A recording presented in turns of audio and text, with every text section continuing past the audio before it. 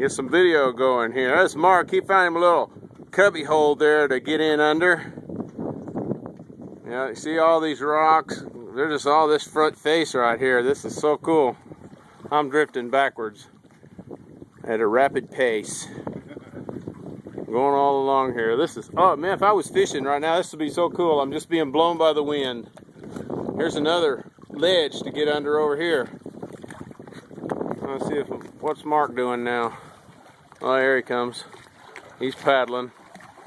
I'm just drifting along with the wind. I could be fishing right now, something great. You can see there's a little bit of water on my pants from the paddle, but I'm dry for the most part.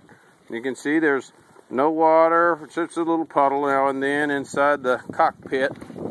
We're in good shape. I'm in the low position right now, so. All right, better turn it off.